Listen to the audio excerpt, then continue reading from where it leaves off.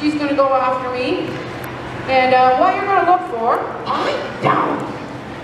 What you're going to look for is the sheep come quietly and gently. They make all the obstacles. The sheep are going to go to there. They have to come down nicely as straight as possible to the handler. Then they have to go through those gates, across, and down the chute. Got it? And the sheep should go sweetly, softly, kindly. The dog should be possible. And the handler shouldn't have to fix any mistakes. Got it? Come on.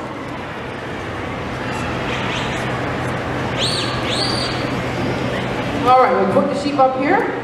Come on, lie down. So, uh, Kelly's dog is Spot. He is seven years old. Macy, that'll. Macy's 12 and a half. She's in the prime of her, or no, Spot's in the prime of his life. Macy's retired. So, is it the is it the big gun that's gonna win, or the wise old gal? Right. So let's see how this goes. Right. Everybody got their pencils sharp?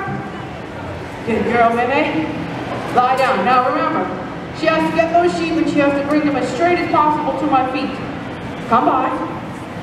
I can tell her what to do.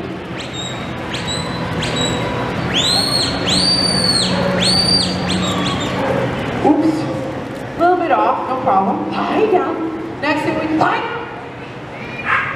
Lie down, lie down. Walk up as straight as possible from my feet to the gates, all the sheep through the gates. Lie down. Right straight through the gates. Very good. Now, that's all the sheep. Now, the next thing, we have to come across the arena. Lie down. Wait. Now, Macy again has to be the fence on this side. Come on. As the sheep come down our little chute. Lie down. All the sheep have to stay in the chute. Wait. Lie down, lie down. Come, lie down, lie down. Wait, lie down. Wait, lie down. Lie down. Lie down. Lie down. Right, there we go. Okay, a couple little bobbles. Nothing too bad. Let's put the sheet back up the top. Lie down. Come on, come on.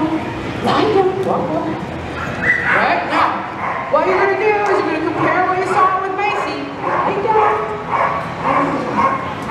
I'm going to have to kill that dog when I get back home. Sheepdogs are not supposed to bark. Bark, barking upsets sheep. Uh, nobody, Macy, we're done. Come on. She says, I may be old, but I can still do the job. Come on. Lie down. Lie.